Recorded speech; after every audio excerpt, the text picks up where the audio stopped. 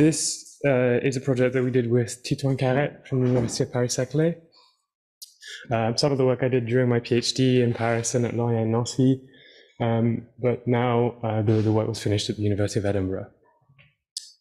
Um, it's had various input from, from different people in the ZX community as well.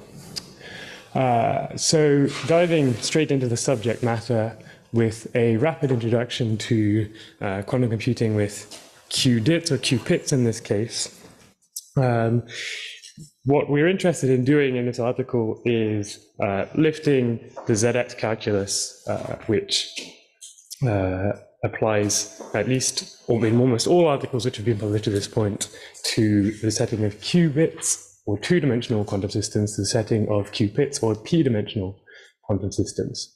Um, and the state space of a qubit, unsurprisingly, is modeled by a uh, p-dimensional Hilbert space, uh, which has uh, which you can view as c to the d. Um, and we decompose any state in this p-dimensional Hilbert space along a uh, computational basis, which we label with the elements of the uh, group of arithmetic modulo p. So here. Um, so in this article, we impose always that p should be a prime number, and uh, there are a number of implications of this which are not really clear in this talk, although it is important, and at the root of all of this is that it makes this group of arithmetic modulo p into a field with the usual operations. Now, uh, moving on to manipulate the state of uh, a qubit and the, the, sort of operations that we're going to try and axiomatize through this calculus are uh, a handful of fairly standard gates, which are the generalization of uh, the, their qubit counterparts. So we have uh, Pauli gates, which are uh, somewhat straightforward generalizations of the qubit Pauli gates. The uh, Z Pauli is multiplication by a diagonal phase in the computational basis uh, by a weighted phase here, which is a pth root of unity weighted by x, the label of the computational basis, which we're going to note omega in the rest of the talk. And then the x Pauli operator is just translation through the uh, basis elements in the uh, computational basis. Uh, having constructed Z and P, then we write any generic Pauli operator to be um, any ordered product of these uh, x and z operators, now weighted by uh, our elements a, b of our uh, field. Uh, these two Pauli gates are uh, connected by a uh, Hadamard gate or a finite Fourier transform, which maps us between the, the bases of both of these two Pauli operators, just as in the qubit case we have a generalization of the CZ gate or controlled phase, which is also a multiplication by a weighted pth root of unity, uh, which acts on two qubits uh, with the corresponding weights on the phase. And then we also need uh, the phase gate, which um, is, might not necessarily be completely obvious from this uh, uh, presentation of it, but it is a generalization of the qubit phase gate, at least in how it relates to the Pauli operators as a, an element of the Clifford group, as we'll see in a second. Now, one sort of key, or one difference of these, these gates with the qubit case is that the operators are no longer self-inverse as they are in the qubit case, in fact, uh, for the Paulis, the phase, and the control Z, you need to apply them p times before you get back to an identity operator.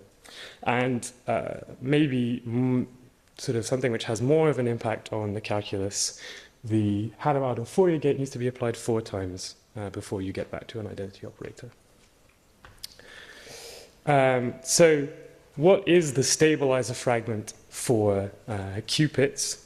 Well, if you recall from the qubit case, the stabilizer fragment is the fragment that you get if you have access to the initialization of Pauli eigenstates. You can apply Clifford unitaries, and you can do measurements of Pauli operators, or in the case of a ZX calculus, you can uh, project onto the eigenstates of Pauli operators. Um, so in the, the p-dimensional case, we're going to do exactly the same thing, recalling that the Clifford group on n qubits is also going to be the normalizer of uh, the group of Paulis. in the unitary group acting on our qubits. Um, and so we get a, a, Clifford fragment or stabilizer fragment, which is very analogous to the qubit case. Now, one uh, difference in, to the qubit case is that in uh, prime dimensions, you can give a uh, very nice presentation of the Clifford group in terms of uh, the representation of a group, which I've written here, the representation of the affine symplectic group uh, plus a phase. Um, and I won't give you the, the, the, specifics of this, but the upshot is that you can uh, think of any Clifford unitary as uh, a symplectic matrix plus a translation plus a global phase. Okay, so uh, this is the stabilizer fragment of quantum mechanics. Um, there have been, for the qubit case over the years, a sort of sequence of papers uh, on completeness results for the qubit stabilizer fragment, uh, starting with uh, Miriam's uh, 2014 article um, and sort of culminating in uh, the uh, paper that they have with uh, their student Tommy McElvanney that he presented on, I think, the first day of this conference. Um, now, the axiomatization now for the, the, the uh, qubit case has been reduced down to, I think, this pretty clean set of rules, of which there are seven. Um, but there are a couple of features uh, which are rather nice, I think, about this presentation. Uh, the first is that um, it is uh, it is a, a, calculus where we have this only connectivity matters rule. That is, you can treat any of the diagrams in the calculus formally as graphs, dragging any of the uh, vertices or spiders around uh, doesn't change their, the interpretation of the diagram uh, in terms of quantum mechanics. Uh, and the second feature is that it's particularly easy in this presentation to see what the uh, Clifford fragment corresponds to. So you simply take where alpha and beta in the sort of fully universal calculus are any uh, angle mod 2 pi. Uh, for the stabilizer fragment, you just allow only angles which are integer multiples of pi over 4. Um, in terms of uh, higher dimensional quantum systems, uh, there has also been a, completeness result in the case of qubits by uh, Hani Wang. Um, but uh, in formulating this calculus, uh, essentially I think both of these features were really lost. Um, firstly, uh, in the, the case, you have this, this complete axiomatization, but um, you now uh, have to be rather careful about which angles you specifically allow. In the qutrit case, this is not uh, too much of a problem, but it doesn't generalize uh, beyond uh, qutrits. I think you already in the, in, uh, the case of dimension 5, uh, you can no longer allow uh, all integer multiples of pi over 5 or pi over 10, I guess, um, if uh, you want to recover the stabilizer fragment. Um, there are somehow relations between the different angles that you need to allow for the different uh, uh, parts of your rotation, um, which are not essentially very clear in the calculus. And then secondly, in this calculus, um, you, we've lost the, the only connectivity matters uh, meta rule. And so you, you end up with these, what I, I think of rather vicious inequalities, especially if you're used to making arguments in the ZX calculus uh, and hand waving around these moving these. It's very easy, I expect, to stumble into, into uh, missing one of these and screwing up the, the proof. Now, that's not to be sort of to completely disparage uh, Harney's result. Uh, if anything, uh, it's very nice that he managed to prove this despite these difficulties, and the proof's becoming much harder, I think, uh, than the qubit case. And also, uh, it gave me a lot of confidence that the, the, the, sort of similar kind of ideas would work for proving uh, the, the general case if we can fix some of these, these issues. Okay, so let's get into the, the actual calculus which is in our paper. Um, the, the calculus is generated, unsurprisingly, by uh, a pair of a green and red spider, and we also decided to include the, the Hadamard as a generator. Uh, we define sequential and parallel composition in essentially the usual way. We plug output wires of one spider into the inputs of the next, and uh, parallel composition is defined uh, by juxtaposing diagrams vertically.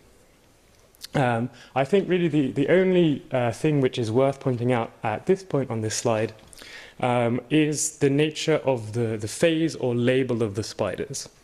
Now, um, as you see, we no longer have uh, spiders which are parametrized by rotations or, or angles, but instead by a pair of elements of our finite field. Um, and what we've essentially done here, um, although it's not really going to be apparent, is we've split off the uh, symplectic matrix part uh, from the, the translation part into two sort of separate subgroups of the phase group. Um, and then the, the global phase part needs to be tracked uh, separately in a, in a parallel diagram. Um, now, the quantum mechanical interpretation of these uh, generators is given as follows. Um, I'm using this notation here, uh, where's my this, this notation here, um, for representing the eigenbasis of the z operator um, and correspondingly for the x operator. Um, and so there are a couple of things which I'd like to bring your attention to here. The first is that uh, we have this relation between these uh, labels or these phases and an actual parametrized phase uh, for the rotation in terms of a quadratic polynomial.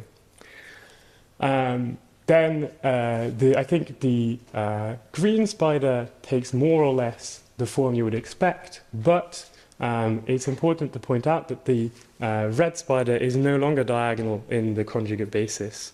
Um, it is a monomial matrix in the, in the uh, conjugate basis. And this is uh, one of the sacrifices that we have to make to recover this only connectivity matters uh, meta rule. Um, so uh, one other thing that I'd like to point out is that we have this additional factor 2 to the minus 1 in uh, the phase of our spiders and this is um, essentially a matter of convention. It cleans up a few of the, the axioms, uh, especially in the scalar fragment that I'm not going to have any time to talk about. Um, so finally, uh, this first uh, uh, interpretation is actually a definition for Hadamard, and then from the others we can deduce that we recover the Hadamard, the phase gate, and the CZ gate, and it turns out that these three gates are enough to generate the Clifford unitaries in p dimensions, and so we have a calculus which is universal for um, the Clifford or the stabilizer fragment of p-dimensional quantum mechanics. Okay, so on to axiomatization. Um, we first have a set of structural axioms which are uh, for at least the top two rows, mostly what you would expect. Uh, we have the usual rules for swapping wires and swapping diagrams through wires, uh, and as well as the usual rules for the cup and caps, the string pulling equation, and so on. And then we have this sort of last row, um, which is the uh, condition that Titouan called flex symmetry, that is, if you take any generator here, G, other than the swap, um, turn it into a state, and then apply any uh, permutation sigma written in terms of the swaps, then this should leave the state invariant. Um, and this rule is enough to recover this uh, only connectivity matters meta rule um, and allows us to treat our uh, diagrams as graphs again. And this is uh, nice both from a, a, a sort of practical doing proof yourself perspective, but I think also it means that formalizing uh, these rewriting uh, theories over these calculi quite a lot simpler. Um, and then we have uh, what I really think of the axiomatization of the calculus itself. Um, so I've, I've removed the scalar fragment, which makes the, the axiomatization considerably more complicated because there's just no, no time to go into that, and I'm not sure how interesting it is. Um, but uh, we have uh, a bunch of rules which I think are, are pretty natural. We have a spider fusion rule, which is um, because of this axiomatization of the phase as polynomials, we just sum the coefficients of the polynomials to get uh, the fused spider. Um, we have a, uh, a, rule which I call the characteristic rule. Um, then this is simply uh, a rule that picks out the dimension p in the unlabeled or phaseless calculus. Uh, we have the bialgebra rule and a couple of red and green elimination, rule, elimination rules, uh, which I think are, are, pretty expected. Maybe the only uh, unexpected thing is that the uh, red spiders are not uh, trivial, or the, the, sort of red one-to-one uh, spiders are not trivial in the calculus, but you need to apply two in a row to get an identity wire. Uh, we have a copy rule, which here is used to copy the translation part of the, the spiders, which corresponds to the Pauli fragment. So essentially we have a Pauli copy rule here. Uh, we have a color change rule, which I think is unsurprising. And then we have a handful of rules which are really axiomatizing the, uh, the Clifford group on one qubit. Um, and all of these rules have, uh, I think, more intuitive uh, explanations in terms of uh, the affine symplectic uh, presentation of the group. Um, but I didn't really have time to present that, and so I haven't really written the uh, corresponding interpretations here. Um, but all of this is in the article. Okay, so with uh, this axiomatization, we have a calculus which is sound, thank God, universal and complete for uh, the stabilizer fragment in uh, odd prime dimension. Uh, and what that means is that uh, if it's not entirely clear, we can uh, derive any equality of uh, stabilizer operations simply diagrammatically, and these rules are sufficient to do this. Okay.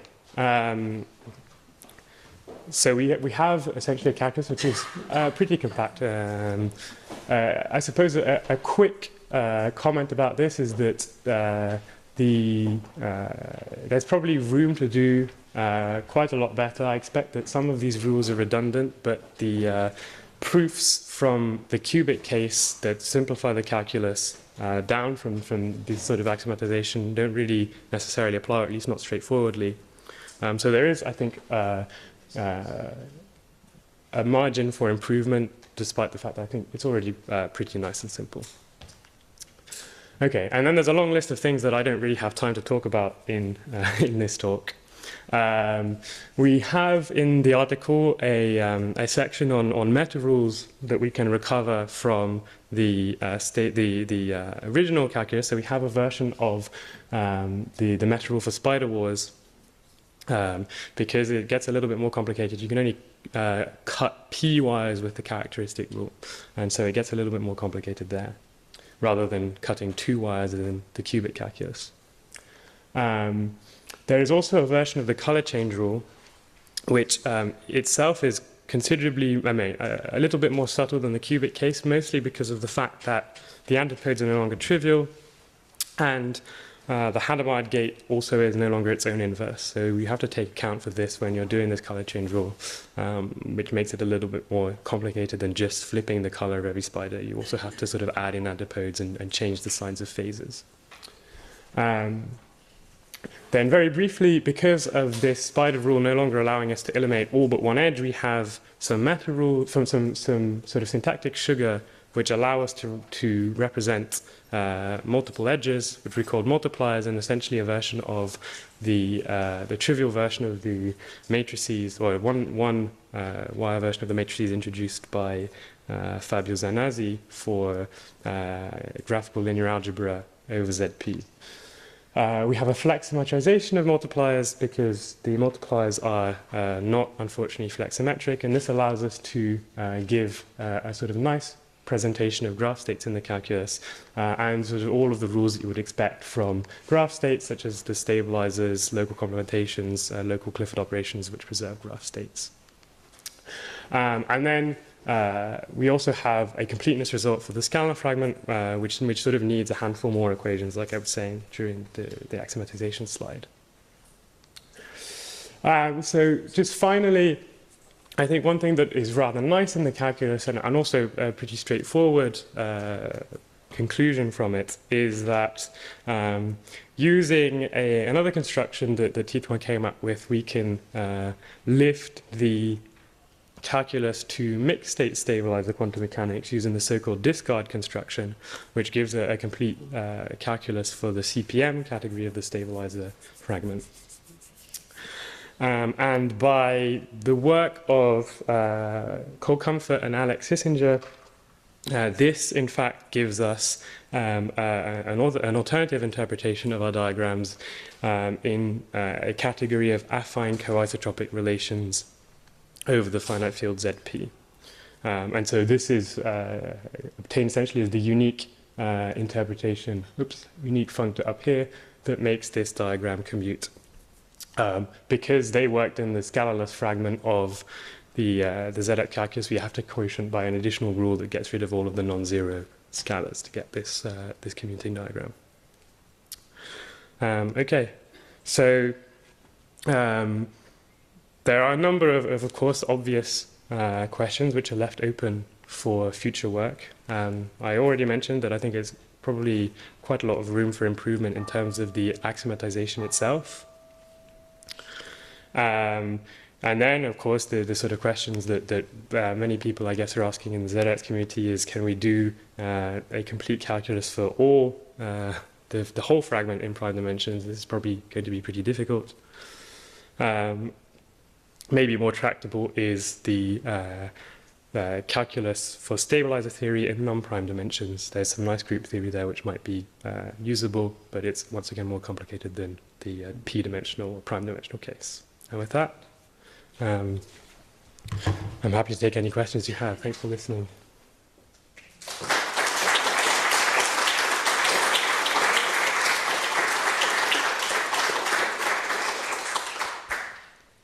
Thank you.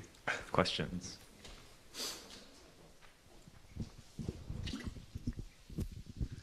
So thanks for the nice talk, Robert. Um, if I take p equals 2, uh, then this is then this is different from qubit stabilizer theory. Yes. Uh, but is it equivalent to the presentation given by Miriam and uh, Duman? It's not. It's not. So I should have. I, I, I forgot to mention it should be an odd prime number.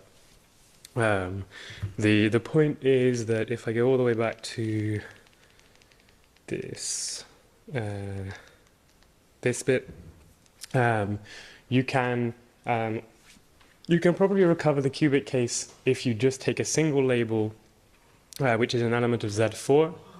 Um, but there is a, a difference. I'm talking, I'm talking, about the toy theory, not stabilizer. Ah, the toy theory. Yeah. Um, I think that you would recover the toy theory. I, to be honest, I've not really put any thought into it. Uh, but yeah, I think you would recover the toy theory here.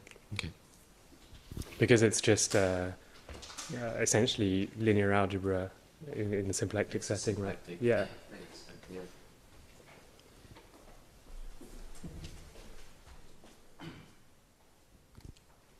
Kind of a variation on Alex's question where he fixes the field to be F2. If you fix it to be R, can this can you interpret like Gaussian uh, stabilizer circuits? Um, you can. I mean, I think you can probably do. You can do some of it. The problem is you still don't have these uh, these uh, cups and caps that are always problematic for the the, the, the sort of infinite dimensional setting. Um, you you can you can still get the um, the affine coisotropic relation part, this is no problem at all. But neither this calculus nor nor the the category of affine relations has an interpretation in Hilbert space because of this um, lack of cups and caps or lack of capacity. Could you interpret it in like non-standard? Maybe. I'm not. I'm not sure. I mean, it's a lot more complicated for sure.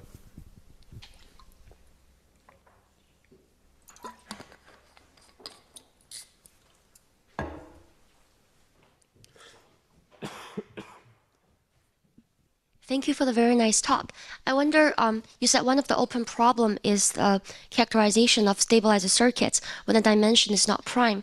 I wonder, um, a naive thought would be using the prime decomposition to decompose a system into subsystems of prime dimensions and then apply the rules that you found to the subsystems.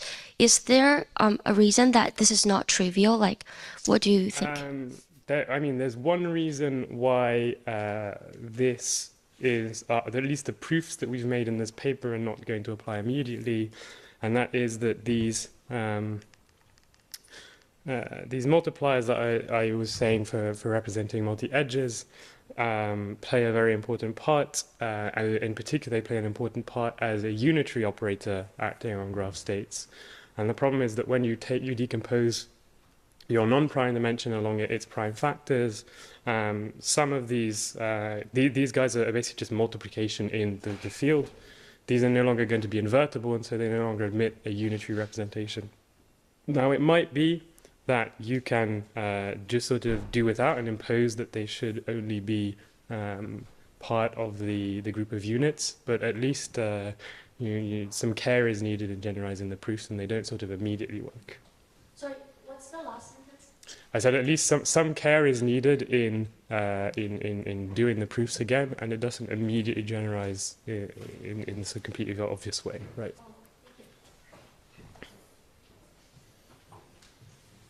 Any?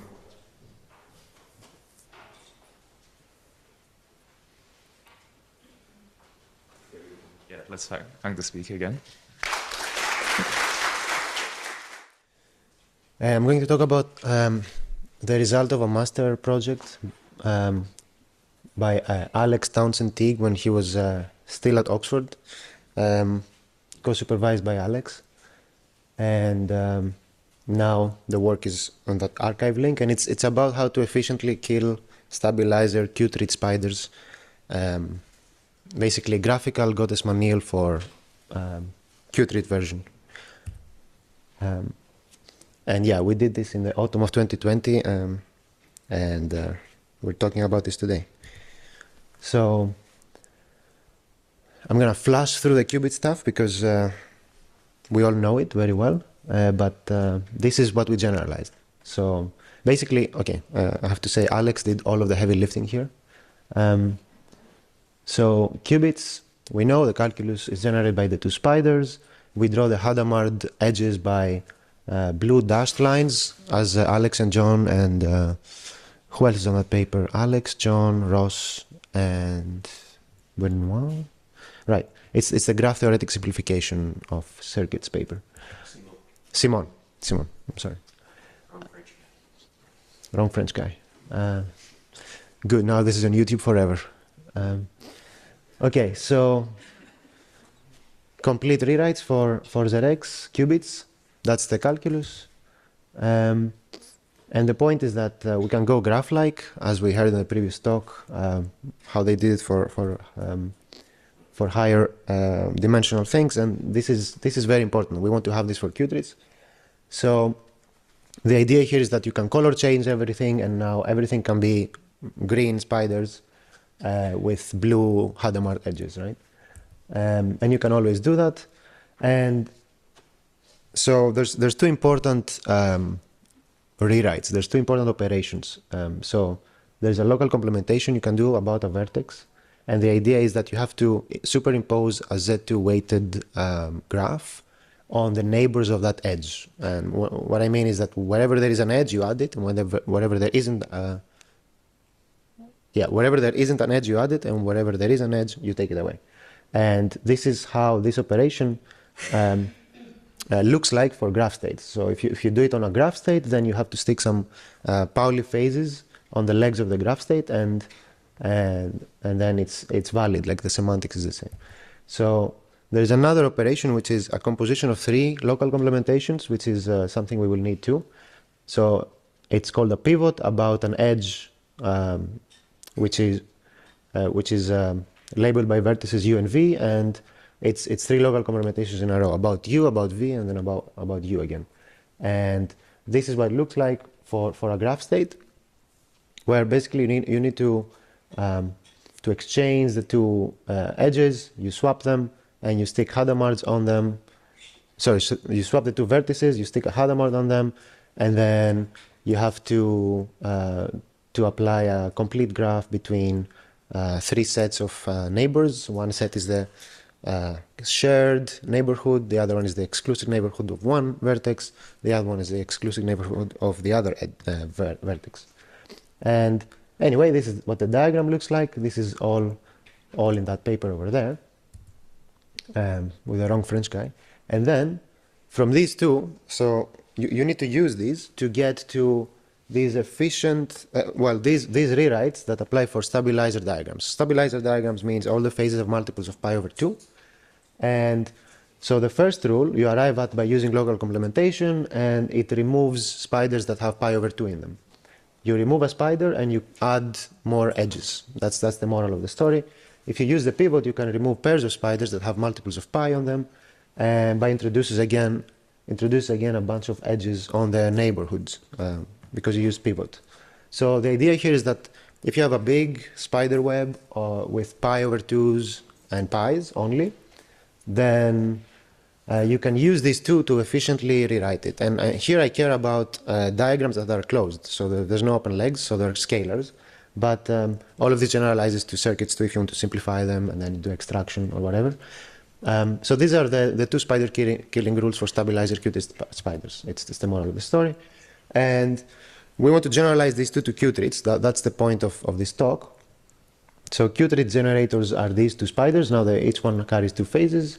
And we call stabilizer um, spiders, as we heard in the previous talk, the ones that have multiples of 2 pi over 3 now. So the third root of unity is carried by, by the, the labels.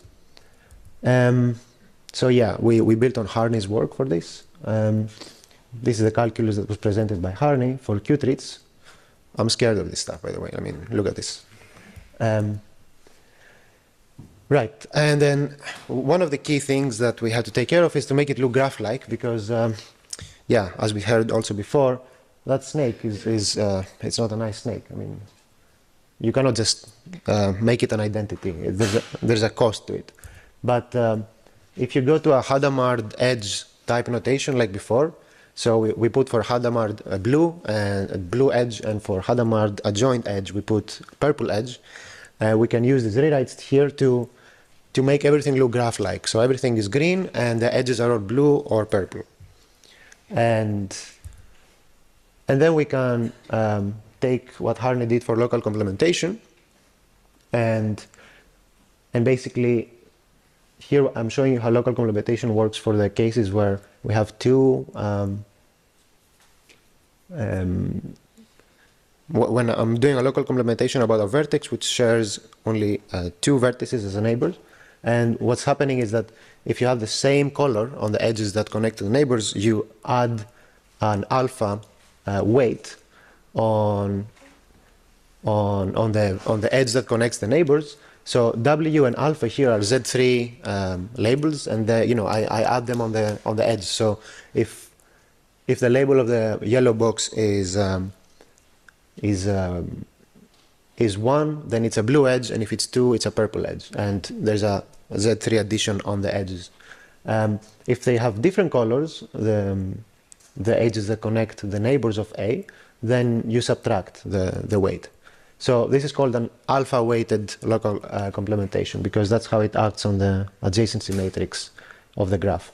So in general, this is what happens if you do it on a graph state, like before.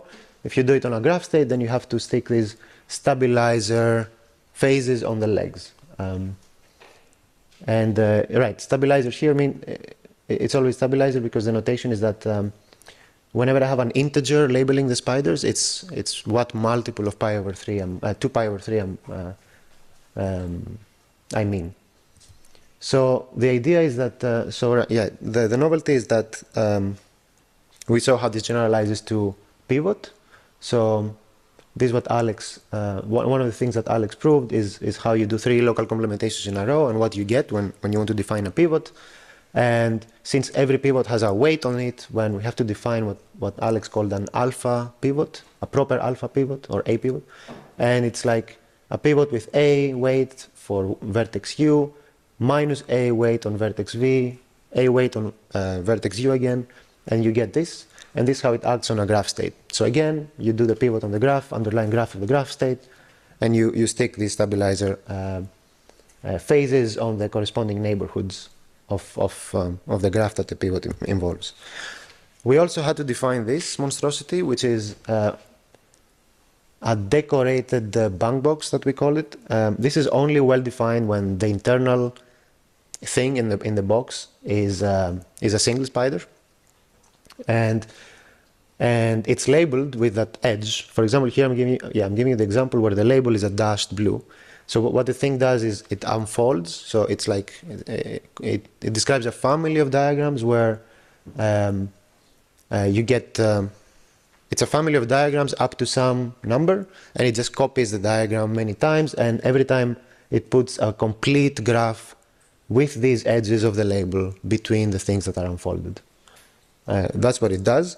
And this is needed so that we have a compact representation of our rewrites um, later, because they get a bit unwieldy. So um, these are the spider killing qutrit yeah, rewrites that we get from the using uh, the local complementation. So that one kills spiders that have uh, the same multiple of pi, uh, 2 pi over 3 on, on the two labels of them. And these two rules uh, kill spiders that have 0 and then another integer. Um, right? So these two we get from local complementation. And this one uh, we get from using the pivot. So this removes pairs of spiders that have this pattern of integers. So m and minus m, the opposite, in their labels. So we remove the pair and we add a bunch of complete graphs between them with different Hadamard weights, and it looks like that. And um, and then we we, did, we made a cute observation uh, from knot theory, which I will describe very very quickly.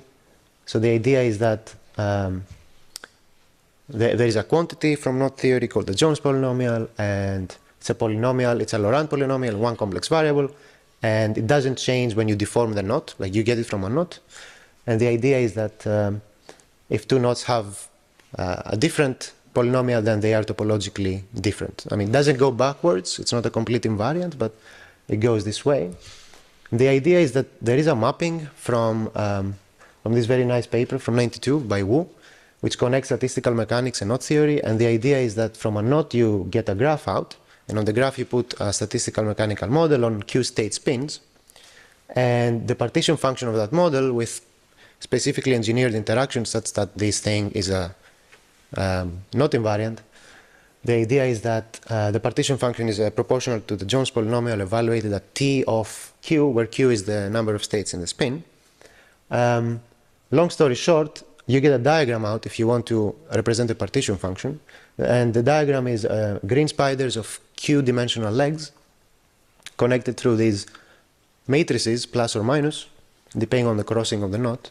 Um, anyway, uh, the matrix representation of this plus minus box is, is that matrix over there, all ones, and the diagonal has this um, evaluation point to some power, minus one or plus one. And the idea is that um, the cute observation we made using the stabilizer uh, uh, ZX and uh, for qubits and qutrits, rewrites, the, the cute observation we made is that it is known that this problem is hard, um, as in evaluating the Jones polynomial is hard, except at these specific points, the specific roots of unity, which happen to be when the dimension of the legs carried by uh, the wires in this diagram is uh, 1, it's totally trivial, and then 2, 3, and 4.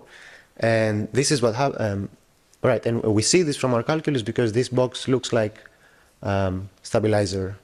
They, they, look like spiders, either qubits or qutrits with stabilizer phases in them. And the idea is that um, for whatever knot, you get a stabilizer diagram out, and then you can efficiently kill all the, the spiders. And this is like a different way to see this known result from complexity that, that this problem is easy at these specific points. Anywhere else, you don't get a stabilizer diagram, you get some whatever ZX diagram, and then you're, well, you get some random tensor network, and then you don't know what to do. So yeah, to summarize, we main result is these two rules for how to efficiently kill stabilizer qutrit diagrams, and and also this one for removing, um, yeah, for single spiders, for pairs of spiders. Yeah, that's it. Thank you very much.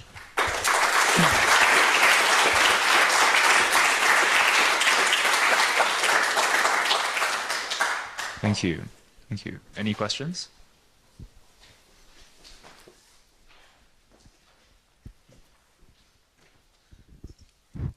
So, do you have a, a, formal proof that for other Q you will never be able to write it as a stabilizer, or is this just an intuition? Uh, well, there are proofs that this this prob. You mean for the for the Jones, right? Yeah, yeah.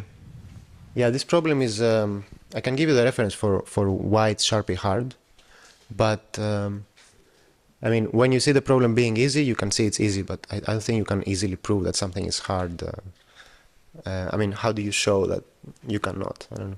Like, maybe this way it's hard, but maybe some genius finds another way. It's all of these things that are not believed to be easy, right? But um, But at least if you if you show that those boxes are not in any stabilizer fragment, yeah. you, you know this method at, le- at least will not, will not work. Yeah, yeah, you can see like um, if it's if it's a five-dimensional thing, you can see that it, it doesn't break into uh, what, whatever the other calculus says the spiders look like uh, with two pi over five, for example, in the face. Like it, it will look some. It doesn't compile like the stabilizers. Uh, yeah. Okay, thank you. Any more questions? I've, I have a question. Have you have you looked at circuit extraction? Oh yeah, I should have mentioned this. Good point. So future work would be yeah something like this. Someone should just take this, uh, clean the Clifford stuff around uh, whatever the T gate is for Qutrits or the hard gates, and uh, yeah, try to do extraction for simplification of Qutrit circuits. Like one application of this one. What you want to simplify is not like a scalar thing. Yeah, good point. Yeah, exactly. Maybe you can shout and I can repeat. Sure. Um, So since circuit extraction was mentioned, uh, a very general question. Um, I mean, there is no Qutrit hardware, right? Um, No, some people are working on Qutrit hardware actually. There is a group in Chicago. are you building hardware? Oh, nice. Okay, there you go. Yeah. So Lee also works on Qutrits. So pick her brain. Yeah. Yeah, more Q, more Qutrits later. Qutrits are supposed to have an advantage because the local Hilbert space is bigger, and some people say it, they're faster to I don't know scramble and move around quantum information. But I, I imagine engineering-wise they're a nightmare. I mean, qubits are hard, so what can I tell you?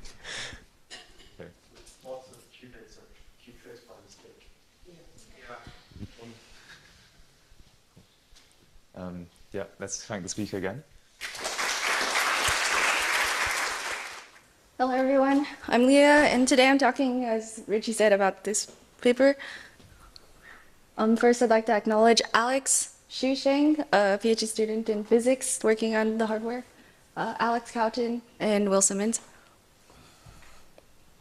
Some motivation for this work. Um, so, uh, we're interested in the problem of exact synthesis for Qutrits, and it just just has been an interest in uh, my PhD research. And a lot of the past work has been on ternary classical reversible gates, so that's not really something that's quantum uh, takes really advantage of the quantum properties. Um, so um, you can have finite gate sets for qubits, just like you can for qubits, uh, which are approximately universal. So Clifford plus T generalizes to prime dimension qubits, including qutrits for D equals three. And you, uh, I've also looked a bit at Clifford plus R, which is uh, called the qutrit metaplectic gate set, which uh, is also approximately universal. Um, but those two gate sets are both generated by a set of four gates, and uh, we wanted to know what about if you have a gate set with as many, uh, uh, infinitely many gates. So uh, the native gate set for the generators of ZX calculus, you can consider that to be Clifford plus single qubit Z and X phases. And for qubit ZX, it's also the same, so um, prime dimension. So yeah, you also have Clifford plus phases is the gate set of interest for this talk to quickly go over ZX calculus, um, but the talks before me did a very good job of this background. Uh, first, uh, you have your Heisenberg-Weyl Paulis. Uh, so these are how x and z are defined. Um, uh, we use the x plus one there, uh, just to note there's other x gates as well, um, like permutation x gates. And uh, your x basis states for Qutrits look like this, so they're all equal superpositions of the computational or z basis states where omega here is the third root of unity, so e to the 2 pi i over 3. Um, and uh, you still have your uh, your um, unit and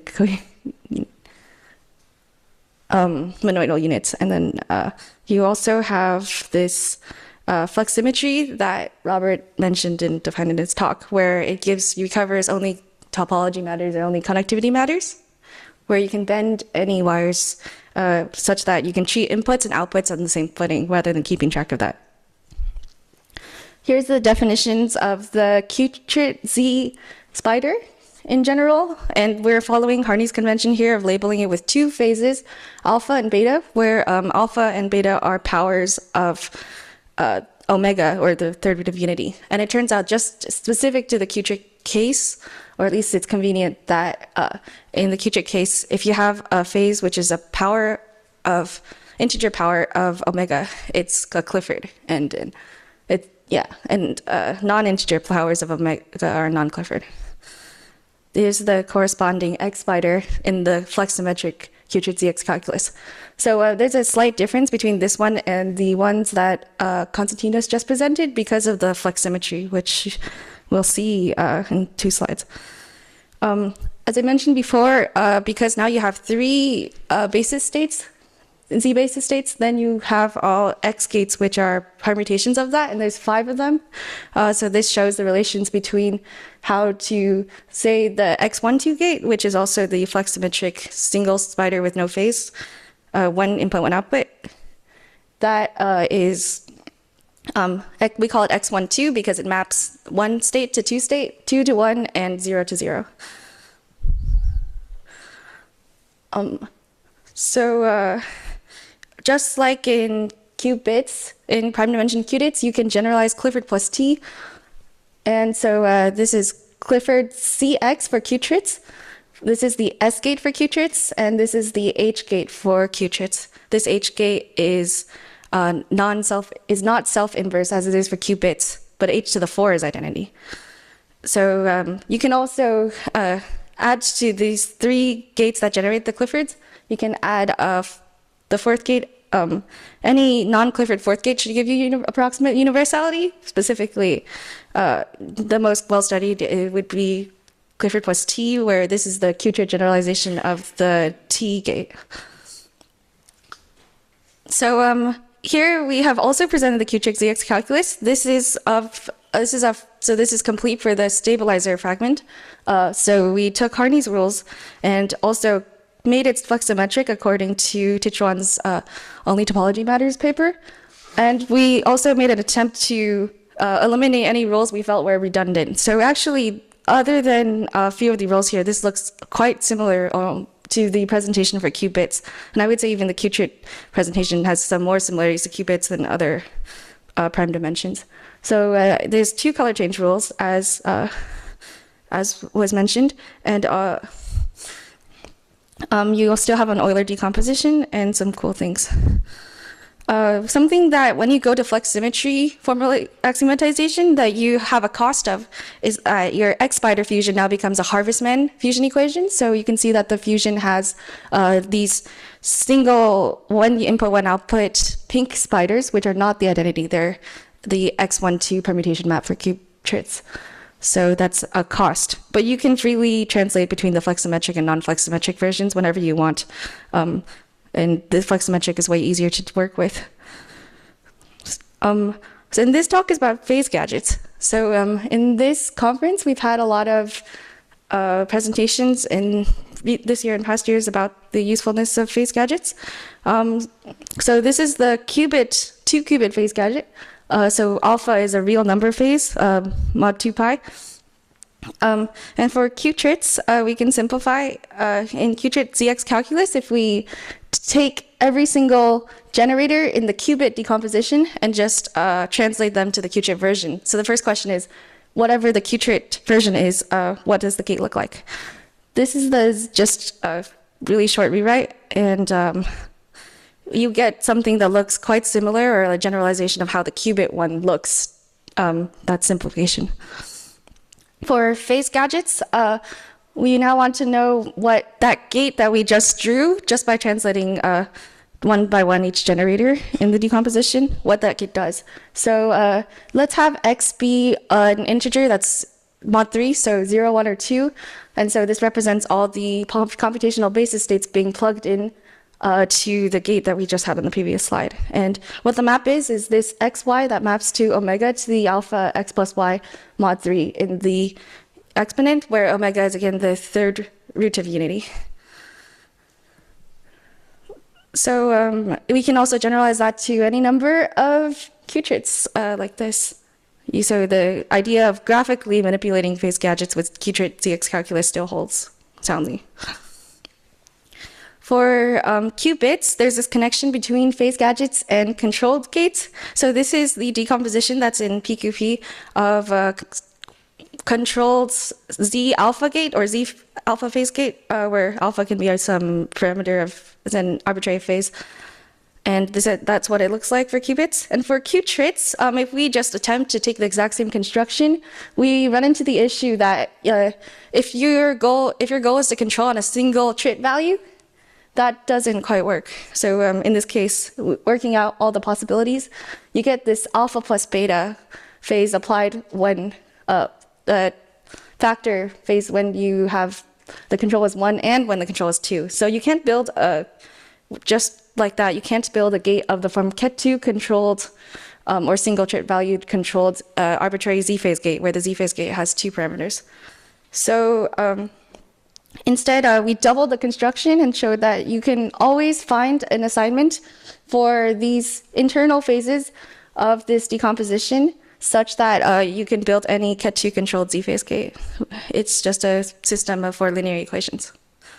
We can generalize to any trit string controls. So in this case, uh, we actually, this is even um, polynomial and gate count. So um, just by controlling the CX, the Clifford CX gates or sum gates, and also controlling the top phase on the uh, second to last, so the uh, the qubit right above the target one. And uh, as for how to build controlled CX gates, um, just a plug for our other paper. This is a decomposition of uh, a few years before I was born, a qubit multiple control Toffoli uh, unitary construction uh, in polynomial gate counts. You can use these. And uh, how to do this in polynomial or efficient gate count for qutrits wasn't known until, uh, well, until John and I worked on it this year, which I'll present next week. And uh, the paper's title is Constructing All Qutrit Controlled Clifford plus T Gates in Q Clifford plus T unitarily in polynomial gate count. So we go beyond multiple control Toffolis for Cliff for uh, qutrits and even cover Clifford all possible controlled Clifford plus T gates. Um, for controlled gates, uh, we can also have a different notion of control, generalizing it from phase polynomials. Uh, so in the qubit case, you can view a qubit multiple controlled Toffoli in two ways. One is that you could see it as being controlled on single bit string, and the other is that you could think of it as being controlled on multiplication uh, mod 2. So the in the bit case, there's only one value of a bit string such that multiplying every bit bitwise gives you 1 and non-zero, which is when they're all 1. But for uh, higher dimensions, so trits here in this case, uh, that's not the case anymore. So we define something called a phase multiplier. Um, um, before we get to that, I'll first show this x and y uh, can be zero. If in this diagram, being zero or one, you can trace, or you can not sorry, you can uh, follow the values of how the uh, value of bits either being zero or one is stored on the wire. So this CNOT gate here adds or basically takes the uh, XOR of x and y, and you uncompute that after you've applied the z phase. To uh, so this gives us x times y in the exponential. On the left-hand side and right-hand side, I've converted these to phase polynomials um, form. And uh, we observed that uh, if you have, start with uh, the, this uh, case of the binomial theorem, but now you restrict x and y to be bits, and you, uh, you uh, mod over those relations specific for bits, then uh, you get um, you recover, you can recover exactly the equation that was used, mod 2, to construct this. So a bit confusing here is that there's two types of addition going on or subtraction in here in this equation. The XOR is mod 2, and then the plus and minus here are not mod 2, so they're over the real numbers. So it's a mapping from bit functions to real numbers. And uh, we can do the same for qutrits. Um, uniquely to qutrits, we can do start with the same starting polynomial from uh, the binomial theorem, and uh, this is what we get. Um, it looks uglier at first because it's no longer linear. However, we observe that qutrits uh, you can um, one squared is one mod two three, and two squared mod is also one mod three. So we also get uh, a way that you can explicitly build uh, the idea of x squared for x being a trit if x is already on the wire. And so uh, we actually get a construction for the qutrit phase multiplier that looks exactly, almost exactly like it does in the qubit case. There's one really notable and quite significant difference is that here, now the phases we're dealing with, the size of them is alpha. So we don't get alpha over 2 like we would in the qubit case, where we have smaller and smaller phases the more controls that we add um, for our phase multipliers. So our propositions uh, from the paper is that we can construct these unitarily and ancilla free with a gate set that only consists of phases of size alpha or minus alpha with qutrit Clifford plus T. And uh, this allows us to do uh, exactly construct any diagonal Q unitary. In particular, the case where you're restricting to the 0, 1 subspace is exact emulation of the qubit uh, any multiple controlled phase gates. Um, for the specific case of the qubit CCZ gate, we can do a bit better. Um, so here is the, uh, on the top, here's some, uh, let's say we want to do a generic Ket2 controlled Z gate for any phase. Uh, and um, in the bottom, that's how you can construct a Toffoli, uh, so a CCZ gate, where now the bottom is the qubit Z gate. And it turns out, uh, we show in our paper, how you can do this with the Clifford plus R Kitchen metaplectic gate set, uh, ancilla free and unitarily with R count 3 why we were really excited about that is because um, in the qubit case, the best you can do is for qubit Clifford plus T, for example, is four T gates. Um, if you are non-unitarily, so you use post-selection or some uh, classical uh, gates conditioned on classical measurement outcomes, or you have seven T gates unitarily. So therefore, this is a new minimum on the number of single qubit non-Clifford gates to construct any type of qubit CCZ gate.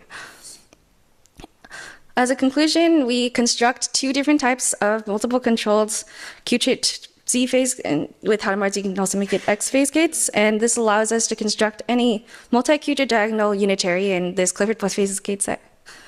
There we find a better construction for qubit CCZ with um, qubit emulation.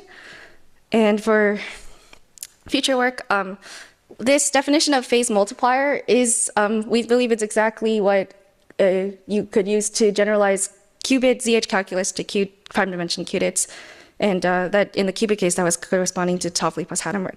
We also want to know how to build and solve for phase polynomials more efficiently and uh, have some questions about uh, Paulis and how they generalize to qubits in a way that could also, uh, you could exponentiate them and have a reasonable interpretation. Um, I end my slide by showing recent works.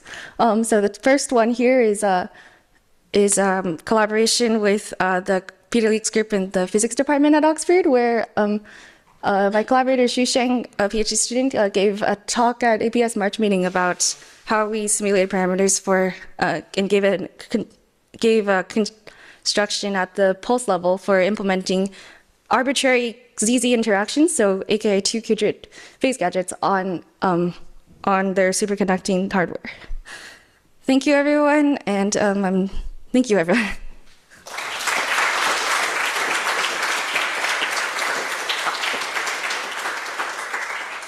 Thank you. Um, have you got Have you got any questions?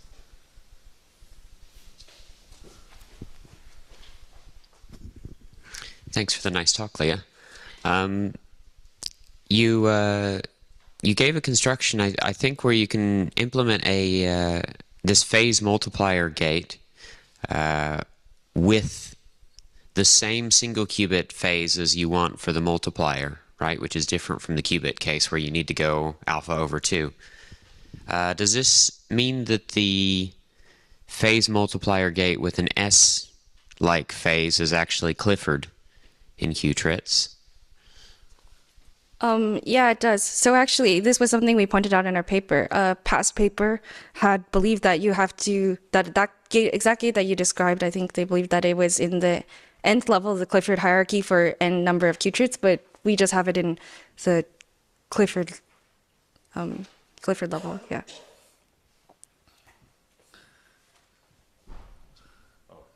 You might maybe shout and then. Actually, um, firstly, I want to follow up a little bit on this emulating I'll bring them back. uh, qubit gates with the qubits. Could you go back to the previous slides um, when you talk about this uh, optimization of using Mm, which slide? the se- I think it's second to the last. Right here. Do you mean for this uh, two controlled Z gate, it is in the qutrit system? Um, I said that this Ket2 control, so it's a Ket2 controlled qubit Z gate. So as you see on the top, the E stands for emulation. So the left hand thing is emulated by the thing on the right, which is some more general. So you don't care in the middle case. The question marks are wildcards, where you don't care exactly what value that takes, as long as there exists some value that's valid.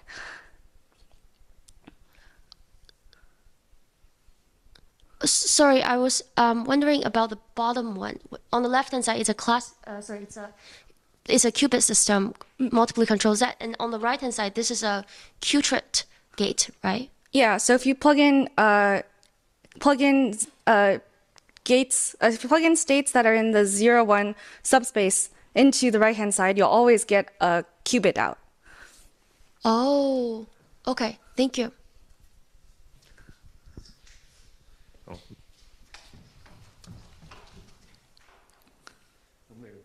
Oh. Oh, someone had. Okay.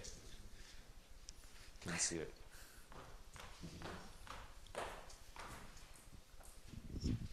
So I noticed that in um, some of your equations, you ended up having um, x squared appear in, in the exponent, um, which reminded me of the other version of the, the qupit um, ZX calculus we saw earlier. Have you thought about kind of translations between these two um, different versions?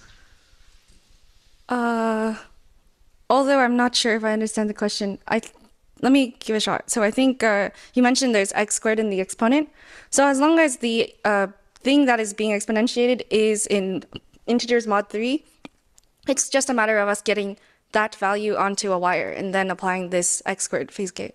So there's the, the reason why the propositions have Clifford plus t is because we built Ket2 controlled qubit, oh sorry, Ket2 controlled qutrit x gates using the using three t gates. Yeah, so, sorry, that wasn't what I asked. Oh, okay. So, um, yeah, so what I was wondering about was, um, so you've kind of used Harney's parameterization for the phases, um, and uh, Robert presented a different parameterization for the phases, um, which I think is um, something to do with like a linear and a quadratic part in the exponent. Yeah, Um, that's and correct. you've also occasionally got quadratic things appearing in the exponent. So I was just wondering whether you'd looked at the translation between these two different um, versions of qutrit ZX calculus.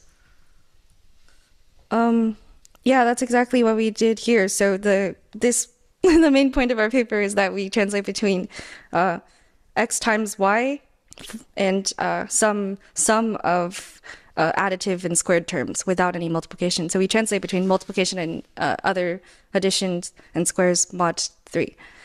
Um, did that Yeah, answer? maybe let's- let's take it Oh, offline. okay, we'll talk about this offline. Okay, I think we can have yeah one quick question. Uh, thanks, Lia. So the it's a pretty common error mode for a qubit to get excited into the third level of the thing. So I was looking at this these pictures you showed of um, doing qubit operations on qutrits, and I was wondering if it's a, a realistic idea to use operations like that to try and have build some circuits which are resilient against that particular error mode. Um, uh, from the hardware's perspective, so I will say that we, with Clifford plus T, we're still dealing with something that is potentially fault tolerant, conceivably fault tolerant, and so in that case, uh, if you had a low enough hardware error rate, of course, it is harder the more Q, the more dimensions you have in your base system. But in that case, you would still uh, have a valid computational model that can deal with error if you have a low enough natural error. Um, there is an issue with uh, with this kind of parameterized compilation. So uh, I I do agree that when uh, because uh, I don't think that I think the paper is not really out. It's between uh, our group here or like UC Berkeley's group that works on making ZZ interactions on qutrits. The hardware is not quite there yet. We have the proposals and we can do the gates in principle, but it's uh, there's a lot of leakage error and other kinds of hardware error to consider.